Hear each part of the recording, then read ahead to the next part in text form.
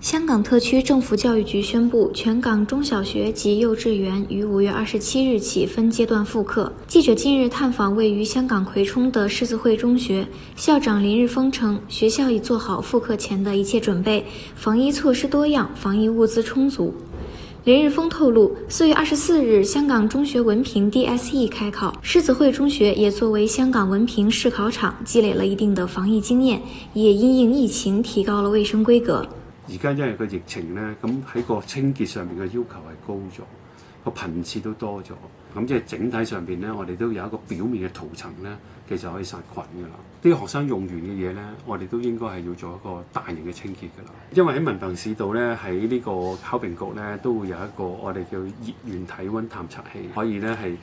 即係可以睇到個學生嘅體温，增加個人流。咁我哋都有一個隔離室嘅，可能佢會有啲啊感冒啊，或者係誒佢有啲敏感嘅症狀啦嚇。啊，咁我哋就希望佢安撫休息一陣，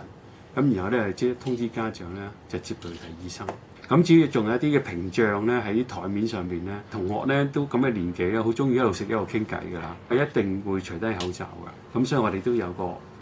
即係一啲膠片啊，做個分隔咁樣。林日峰表示，學生復課後只會回學校上半天課，之後會繼續沿用網上教學，避免過多學生同時聚集於校內。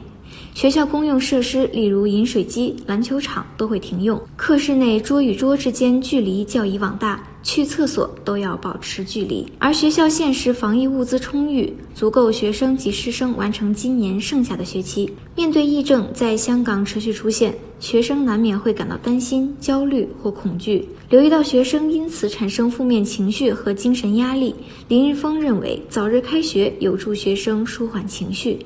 我哋担心就系。